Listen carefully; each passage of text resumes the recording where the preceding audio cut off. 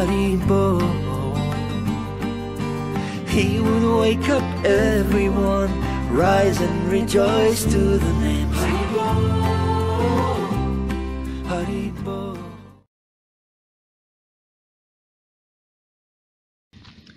Okay.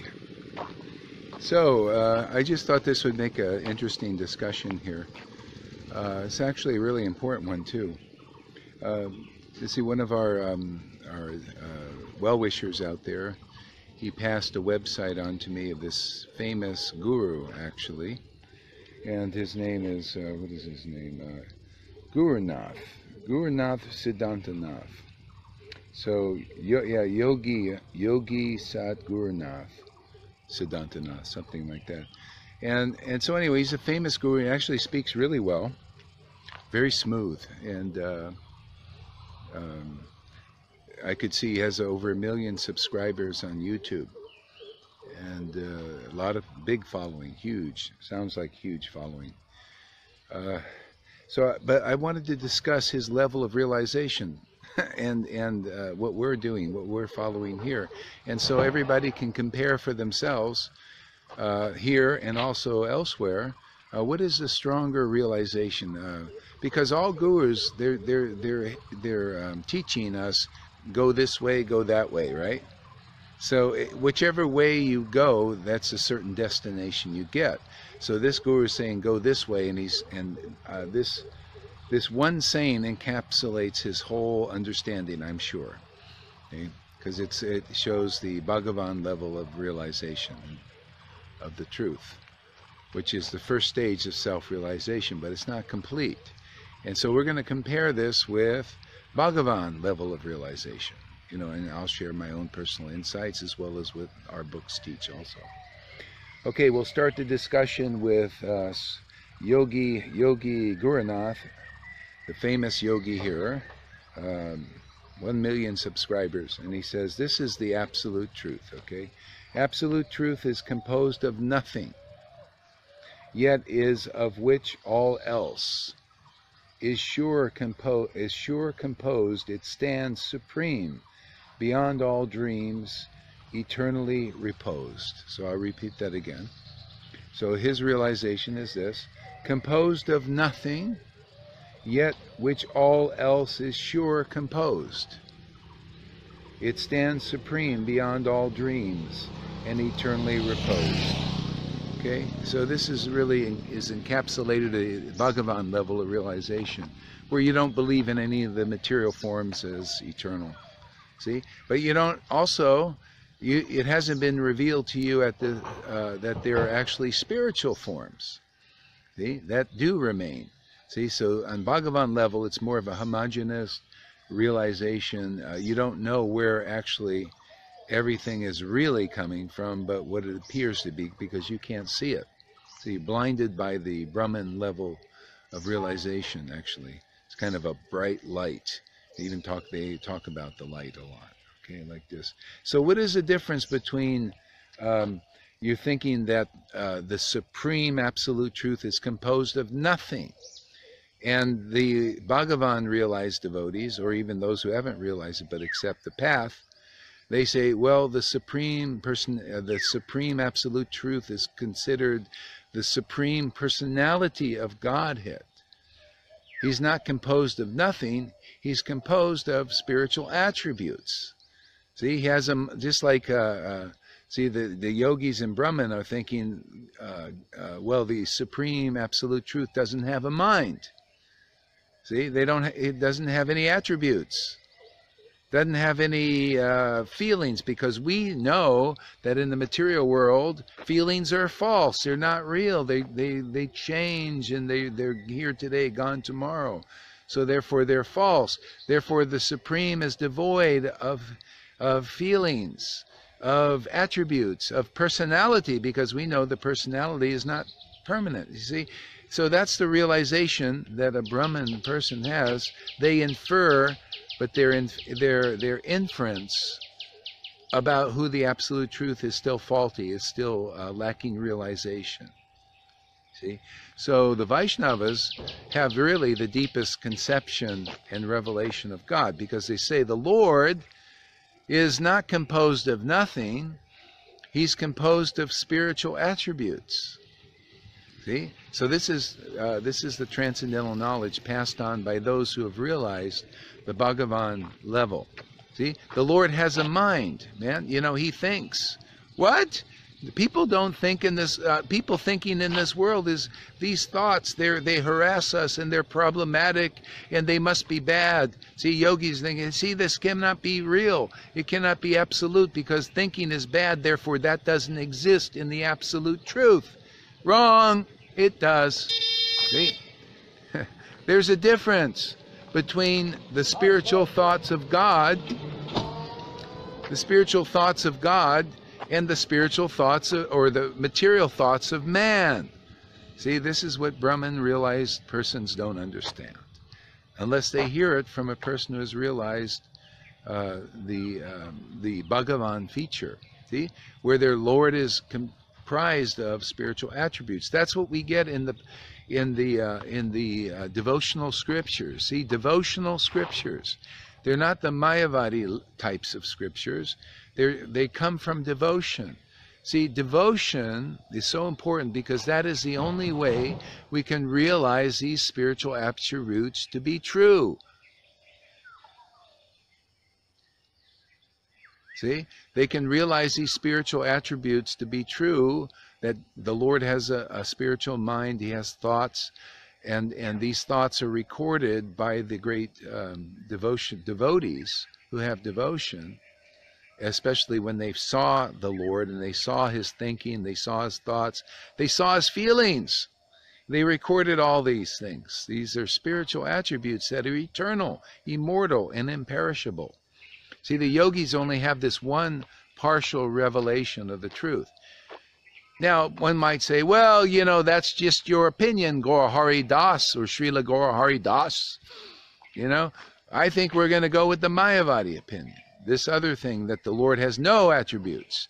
The supreme absolute truth has, has is nothing. Everything comes from nothing. You know, see?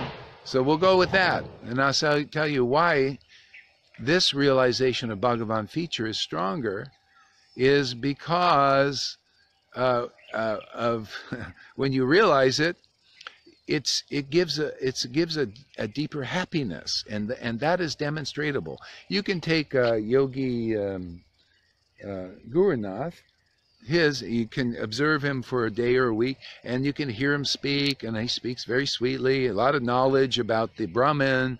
Everything comes from nothing. Please follow me. We'll take you to this place of nothing you know, and it's great because everything comes from there. See, like this.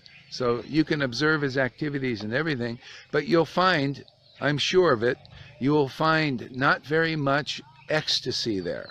You won't find the kind of ecstasy that you see in a devotee simply relishing the name, the eternal name of God that the Mayavadis say, what name?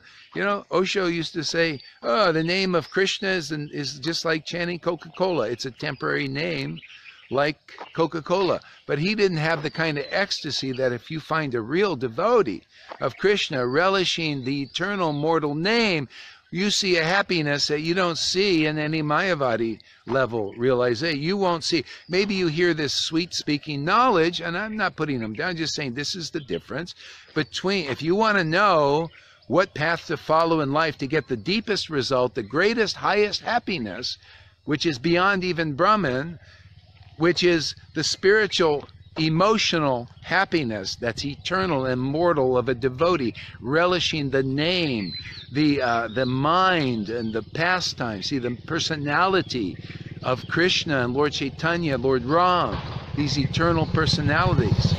You want to see the happiness of a devotee, and you care, compare that to the happiness of a person that's preaching, well, the absolute truth is nothing, comes from nothing. See, that doesn't make a devotee very happy to hear that. Not happy at all, actually.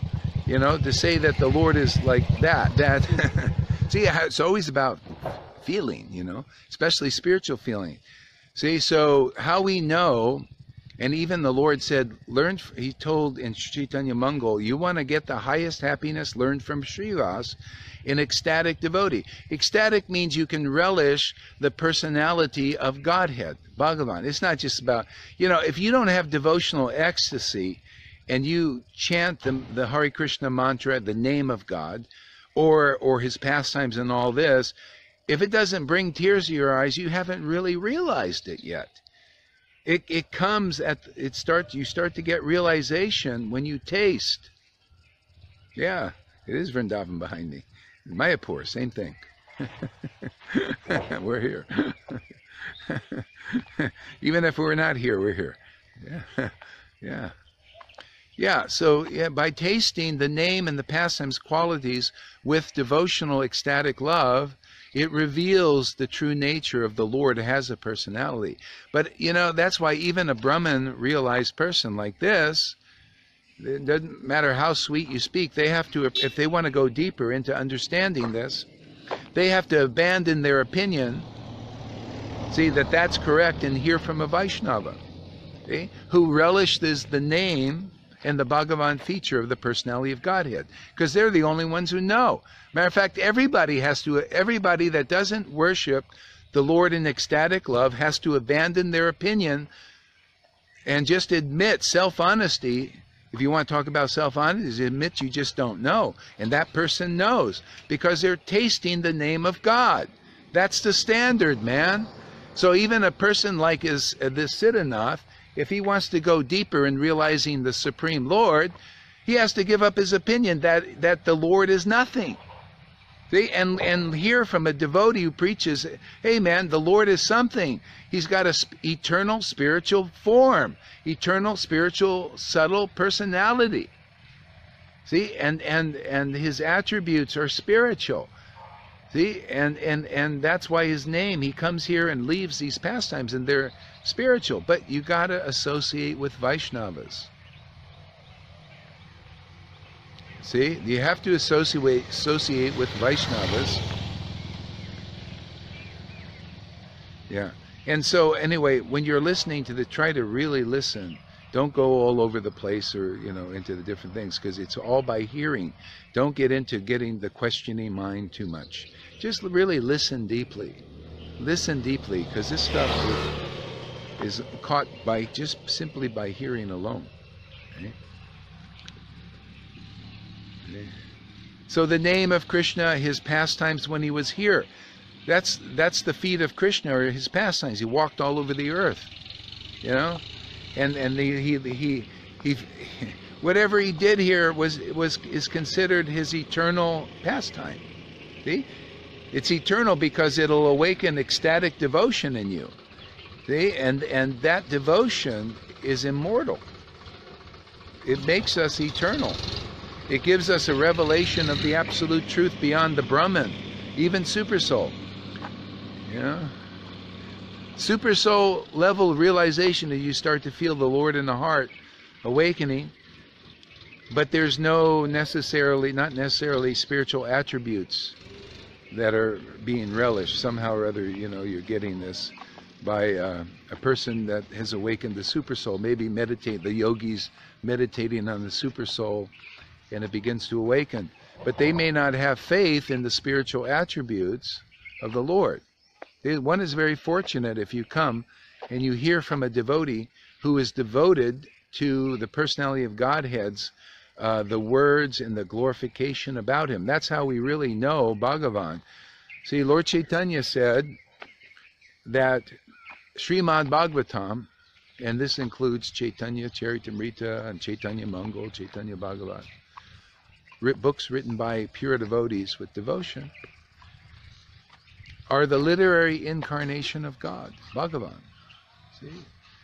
See? So if you can't relish these, if, if I have this idea here, everything is nothing, uh, everything is uh, uh, uh composed of nothing, uh, compo- and yet all which all else is surely composed, it stands supreme beyond all dreams and eternally proposed.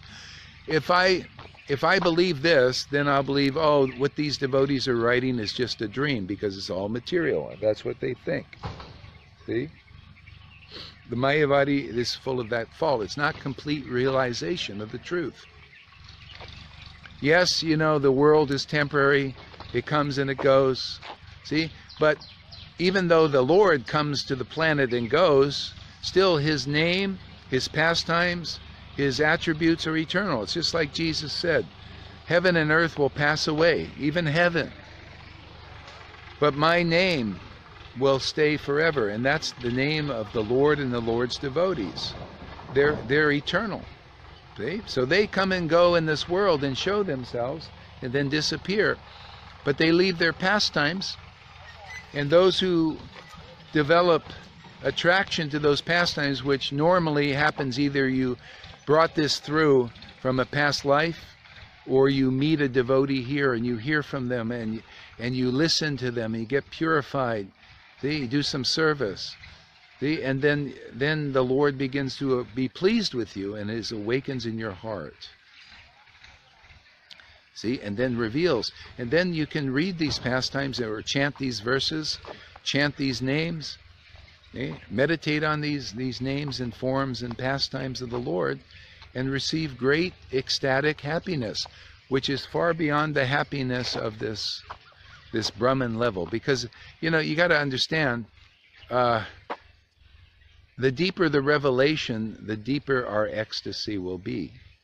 See, the deeper happiness that gives. The Lord loves deep truth, man. This is not quite deep enough, so it, it maybe gives some happiness, Brahman level happiness. But to understand the Lord as He is in His form as Radha and Krishna, man, that brings the Lord so much happiness. See, as we're understanding that and we're being taught by a Vaishnava who has realized the Bhagavan feature, oh, you start to experience a great happiness beyond anything. That's why people here, you notice practically, we're getting so many boons, so many amazing things are happening the devotees are becoming happier than they've ever been before. Why? Because of realization being transmitted that is that is deeper than the happiness of knowing God in a lesser way. See, I even have a Christian friend. He was a devotee 23 years left because it was dry, I guess, you know, and he, and he got attracted to Jesus. But now he's asking me to be his guru and teacher. See? because the, the more you know about God's true nature, the happier you get. He's looking at me and he says, I've been watching you, man. Hey, you, I think you're my guru, man, because you you have a happiness that's really deep, man. It's amazing. I want to learn about that. See? And what is what is my happiness? My happiness is only knowing more and more about the Lord you know, to taste his name and revelations. Uh, you know, when I chant Hare Krishna, I, I come to chant the name, and I said, Lord, man, you know, instruct me, man. you know, you're my you're my instructor now. And then also the verses written by pure devotees. Oh, you're my instructor. Let me taste these verses. And so many revelations come from that, and just you know, that's the happiness devotee is is making the Lord happy. You know, the Lord's very happy when we learn about Him. He's in our heart, man. Yeah. So you want to know the greatest path in the world? See that the, the person that exhibits the greatest happiness, spiritual happiness. It's not material, it's spiritual, man. Transcendental happiness. And then you know the greatest path, that's where it is. See? That's why Lord Chaitanya was considered in the greatest avatar that's ever graced this planet because of why? Fourth chapter, Adi Lila says he was considered the most merciful and the most magnanimous and had the greatest jubilation, the greatest spiritual happiness of any incarnation. Why? Because he tasted the love and the realization of Radha and Krishna worship. He tasted the love, uh, the realization that Radha had because of the strength of her devotion. See? So when you have strong devotion, you get great realizations about Krishna and Radha and every and the devotees and the path and the truth. That gives the greatest happiness. And so when you meet it, uh, the whole point for Krishna devotees is to realize the essence of how to find a real guru in our Gaudiya Vaishnava line, you find the happiest devotee that you've ever met. And it's not material happiness. Their happiness because comes from chanting Krishna's name in the greatest ecstasy that you can see on any other devotee. That is the person that knows Krishna the most, the best. And that's the person that should be listened to, obviously, because what? Bhagavad Gita 10.10 says, To those who worship me, with loving ecstasy, ecstatic love. I give them the right understanding of how to come back to me. So they're the guru, man. You wouldn't you want to hear from those who have the right understanding? See? So it's that simple. It's isn't it isn't it amazingly simple? I marvel at it myself. How simple it is. You you know, and it's all backed up by Prabhupada's books, man. That's why I love it so much, man. You want to find the real path, find the most ecstatic devotee. I mean, not just the real path. You want to find the realest path, which is is this this path that's hasn't been offered in four billion years. You, the realest path is Radha and Krishna worship, man. You can't get more real than that. It's even it's envied by even those in the dham, other dhams. Say, "My God, Radha Krishna worship." Well, you want to find that path, hey man? We're Gaudiya Vaishnavas. We should be thinking. Well, not should. I mean, if you listen here, you'll be thinking like this. Well, where is that path? Well, you look for the uncommon devotees who have these attributes. They're more ecstatic than any other devotees unless they're also devotees like this. they're more ecstatic than any other devotees that you've seen on this planet that are Gaudiya Vaishnavas. Not just don't be bewildered by the clothesline. You know, well, their their clothes are better than Gaurahari's or any other ecstatic devotee. Don't be bewildered by that. No, look for the internal happiness that they get from chanting Krishna's name. See, if it is ecstatic and tears are flowing and, you know, noses are blowing, handkerchiefs are all over the place, not don't be bewildered by the big sticks, you know, oh, they're the ones that are teaching the real path. Look how big their stick is. Look how nice and pressed their dhoti is. Look how straight their tilak is. They must be bona fide. And look how many votes they've got from their friends. Okay? That's not it, man. See? Look for the what our our scriptures really teach. Okay? Look who the most ecstatic devotees, who have the most ecstasy, the deepest ecstasy, and because of that, their realization confirms it. You can check it even in Prabhupada's books. See? So that's the path in a nutshell. Each, you know, in this, I say this over and over again. You listen to one video here it's better than 50 years of listening to the Vaidhi Bhakti gurus whose ecstatic worship is very small. Small means there's, there's no tears squirting out of their eyes and choking of the voice, you know, and, and just shouting and yelling, you know, that kind of stuff. yeah. So are you, is everybody convinced that um, uh, that Swami uh, Swami Sat Guru Nath, Nath, Yoga, Yogi, whatever he is, this is not the highest revelation, realization. If you listen here to what I talked about with logic and argument, I hope you have been convinced that the path we teach is truer, deeper, more revelation, and more ecstatic. Because, hey, man, you don't want to give up happiness you know, for nothing. I mean, this is a kind of like, it's nothing. I mean, you know, hey man, you don't want to give up ecstatic happiness for nothing, the path of nothingness. You got to see, hopefully, you see in this talk, logic and argument, that we presented that the Bhagavan level of realization is stronger than the uh, Mayavad level or the Brahman level, and it's stronger than the Vaidhi level because the Raganuga devotees are more ecstatic, man. They're more give Krishna more pleasure in the heart, shows on their faces. Look at our students now. They're we got what's her name, River Yamuna, going standing up She could never talk before, standing up and, and testifying, and everybody's be like, wow, man, where'd she come from, man? Where'd she get all that energy and that conviction and that realization? See, that's from associating with ecstatic devotees. Okay. So stay tuned. We'll be convincing everybody more and more, convincing everybody, convincing ourselves. We'll just get more and more convinced and ecstatic. and having a lot of fun doing it and helping our brothers, expanding our family of Vaishnavas, you know, on the ecstatic platform. Get off this Vaidhi thing, you know, this Vaidhi uh, rules, regulations only, man, you know. Come in, let's have some good happiness, man.